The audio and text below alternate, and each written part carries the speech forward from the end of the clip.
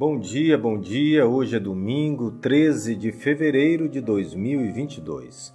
Vamos para a nossa meditação de hoje, lado a lado com Jesus. Deus pode se arrepender? O nosso texto de hoje se encontra no primeiro livro da Bíblia, Gênesis, no capítulo 6 e o verso 6, que nos diz: Então o Senhor arrependeu-se de ter feito o homem sobre a terra, e isso cortou-lhe o coração.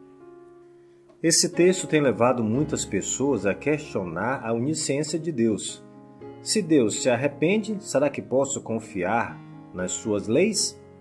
Há um outro texto que confronta diretamente esse texto que acabamos de ler está no livro de Números, no capítulo 23, o versículo 19, que diz: Deus não é homem para que minta, nem filho do homem para que se arrependa.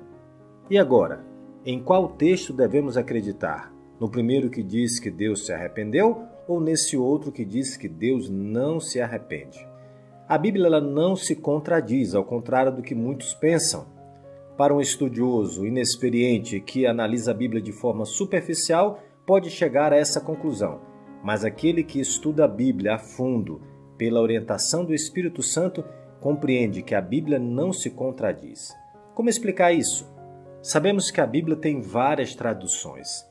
E em algumas traduções, como de Gênesis no capítulo 6, no versículo 6, que é o texto de hoje, sofreu uma certa infelicidade em algumas traduções, não só para o português, como para outros idiomas também ao redor do mundo.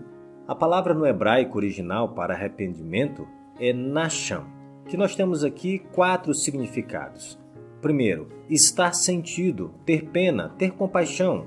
Segundo, lamentar, sofrer pesar. Terceiro, confortar-se, ser confortado. E quarto, aliviar-se.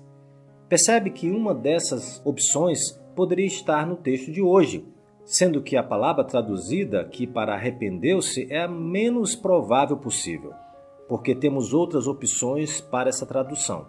Então a palavra que mais se adequaria à palavra arrependeu-se seria lamentou. Deus lamentou ter feito o homem sobre a terra. Por que Deus se lamentou? E o próprio texto continua dizendo que isso cortou o coração de Deus. Deus se lamentou não por ele ter criado, mas pela reação do homem em resposta ao amor de Deus. Deus é um Deus de amor e, diante da quebra do mandamento da parte do homem, Deus se entristece. E o texto de hoje está dentro do contexto do dilúvio, da maldade do homem que tinha crescido absurdamente. O homem se arrepende porque não tem conhecimento do futuro. Quantas vezes você já disse: Estou arrependido do que fiz se eu soubesse que terminaria assim, não teria feito.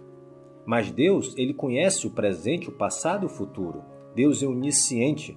Deus, quando criou o homem, ele diz que era muito bom. Como poderia posteriormente se arrepender?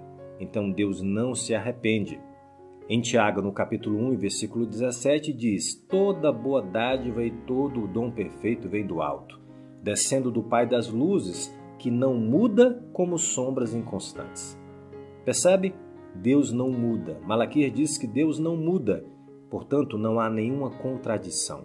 Deus ele não se arrepende. Deus se entristece. Eu quero deixar com você uma tradução mais apropriada para esse texto, na Bíblia Nova Almeida atualizada, onde diz: Então o Senhor ficou triste por haver feito o ser humano na terra, e isso lhe pesou no coração.